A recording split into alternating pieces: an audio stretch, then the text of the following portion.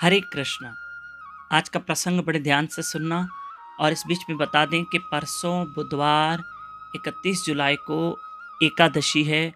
आप ज़रूर एकादशी का व्रत करना, मेरे साथ सुबह जल्दी उठना, सुबह साढ़े चार से साढ़े पाँच, ब्रह्म मुहूर्त अर्ली मॉर्निंग में उठकर हमारे साथ जप करना, हरी कथा सुनना only on YouTube channel Damodar Das पे लाइव रहेगा हम आपको बता दें कि जब भगवान श्री कृष्ण की उंगली में चक्र लगा। जब भगवान श्री कृष्ण ने शिशुपाल का सिर धड़ से अलग किया और उस वक्त पांडवों के यहाँ राजस्व यज्ञ चल रहा था। और शिशुपाल भगवान श्री कृष्ण के लिए अपशब्द का उच्चारण कर रहा था। ऐसे ऐसे शब्दों का उच्चारण कर रहा था कि सभा में बैठे हुए सभी लोगों को बुरा लग रहा था। लेकिन जब शिशुपाल ने सौ अपशब्द कहे तब तक तो भगवान ने उसको कोई दंड नहीं दिया।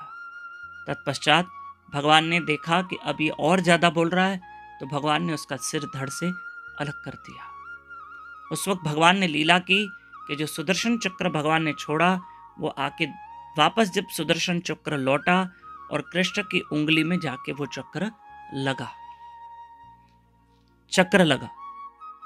तो भगवान ने जानबूझ के यहाँ एक लीला की तो भगवान की उंगली में से रक्त निकल रहा था। वहाँ से माता द्रौपदी उठी, तुरंत एक साड़ी का पल्लू का टुकड़ा फाड़ के, एक चिथड़ा निकाल के श्री कृष्ण की उंगली में बांधा। तब भगवान श्री कृष्ण मुस्कुरा रहे हैं और मन में सोच रहे हैं, कृष्ण, कि हे द्रौपदी, आप मेरी बहन हो और आपने मुझे एक टुकड़ा दिया है। देखो, द्रौपदी तो वो टुकड़ा बाँध के भूल गई होगी। एक छोटा सा टुकड़ा ही तो था जो कृष्ण को दिया, लेकिन कृष्ण नहीं भूले। और उस टुकड़े के बदले कृष्ण ने क्या लीला की कि भरी सभा में जब माता द्रौपदी को निर्वस्त्र किया जा रहा था चीर हरण किया जा रहा था, दुशासन उनके चीर को खींच रहा है, तब भगवान स्वयं द्वारकाधीश प्रकट होकर द्रौपदी की लाज बचाते हैं और भगवान उसको अनेकों वस्त्र से ढक देते हैं। देखो, उस टुकड़े में जितने धागे नहीं थे, उससे ज़्यादा कृष्ण ने उनको वस्त्र दे दिए। द्रौपदी ने तो एक टुकड़ा दिया, वो देकर भूल भी गई होगी कि छोटी मोटी सेवा थी, पर भगवान ने कितना दिया, जरा सोचो।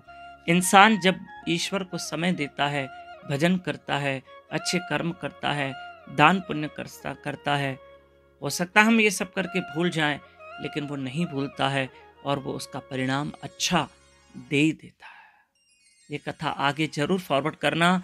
आप जहाँ भी कुछ दान, धर्म, सेवा, भजन करते हो, वो कभी आपका व्यर्थ नहीं जाएगा। परसों एकादशी है, इकतीस जुलाई।